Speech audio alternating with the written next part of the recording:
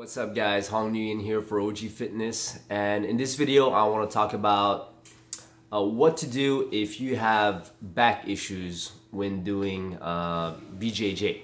Alright, so BJJ is for Brazilian Jiu-Jitsu. Um, if you guys are on this channel, most likely you, uh, you, you, you, know what BJJ stands for. Anyways, uh, before I get started, take a second to uh, give this video a thumbs up and subscribe to my channel. It helps me grow and of course I appreciate it a lot. So let's get right into it. Okay, so I saw this comment in um, in a Facebook uh, group that I'm part of, right? And uh, somebody was uh, saying how you know they're starting to have back problems because they uh, they they practice BJJ and they play a lot of guard, right? So guard meaning from the bottom, you know, uh, you guys know.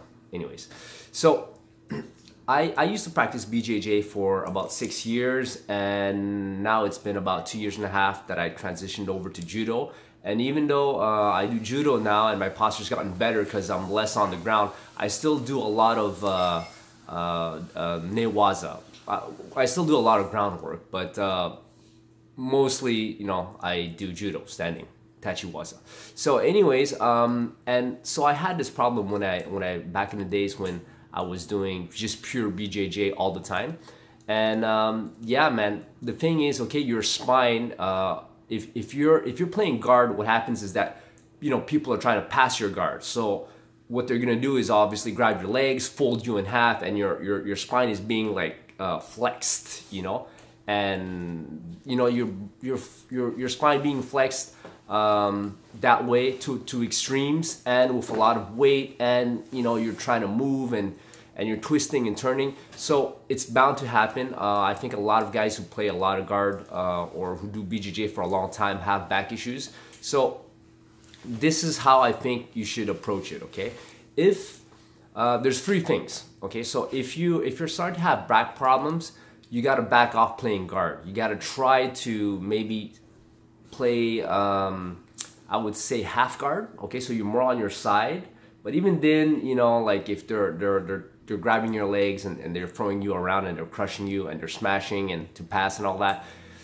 I would say, you know, ideally you try to play more top game. Okay, so if you're on the top and you know you could talk to your uh, just just for a little while, just concentrate on on the top game. So you talk to your partner and you tell them, listen, I got my back's not feeling good. Can you let me play top, man? You know, and if, if you flip me over, then you know we could just reset because my, my back's not uh, doing too well. So that way you could continue practicing, okay?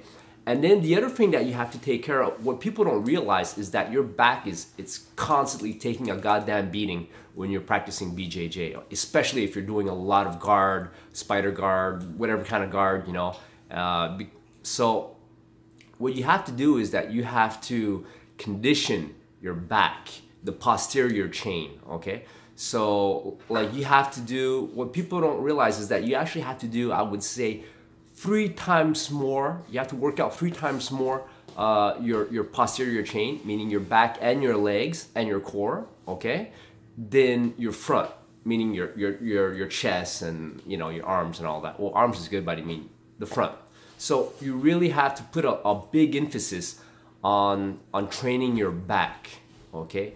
All of it, like upper back, uh, lower back, mid back, you know, everything. And of course, you want to get your glutes strong too, and, and your hams and your legs because it's all it's all connected, right? But you really want to get that uh, uh, your back really strong.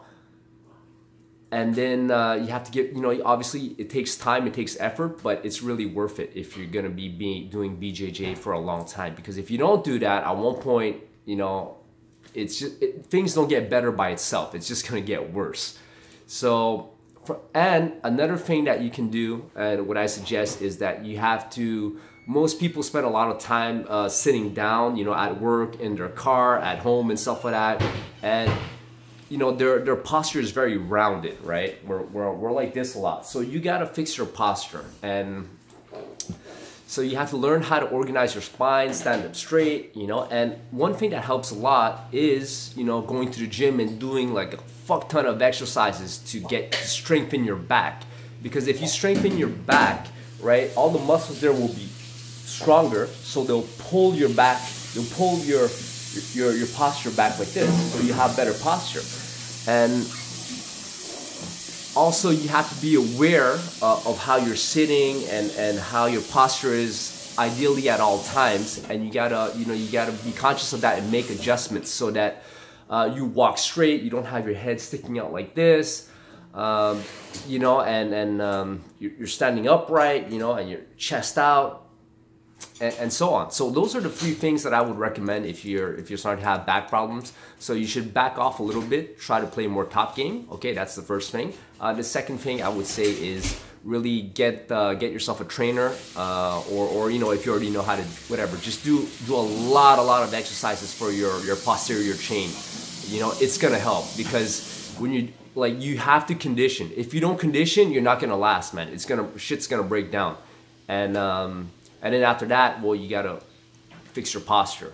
Okay, so I'll put a link down below to this book that I'm uh, that I read and that I keep rereading because I, you know, it's it's such a great book. It's called The Supple Leopard, and it's all about organizing your spine, um, how to brace and everything, and, and all that. And it, it's it's it gives a, it's great because once you read this book, you realize wow, posture is so important in everything we do you know that um, and then he shows you how to fix it and everything. So it's a great book. I'll put a link down below. So if you fix your posture uh, you give yourself a little break play top game and you do a lot a lot uh, i would say three uh, three times more the back working out the back than the front. You do a lot of conditioning resistance training for your back some anti-rotational stuff too you know because we, we tend to rotate and twist a lot. And uh, your spine is is not meant to do um, two things at the same time. So if you twist and bend at the same time, that's when it gets fucked up, you know? And of course, if you keep on bending and bending and bending to extremes or twisting and twisting to extremes, you're gonna you're gonna ruin your back. So really, like you gotta those three things. I think that will definitely help. And of course, um, you know, the more you train, like it's it's uh, everything affects everything. So of course, uh, how to recover uh, properly, you know, by eating better, sleeping well, keeping the stress levels down and stuff like that. But that's, I think I made a video about that, but I'll make, maybe I'll make another one or it's for another video. But, okay, I'm kind of like rambling on here, but let's, let's just summarize the three things, okay? So take a break, play more top game, talk to your partner, okay? Uh, then I would say hit a gym, you know, hit the gym and, and work on your back and your legs a lot, a lot, and your core too, you know. And then after that, uh, like like be be uh, be mindful of your posture at all times.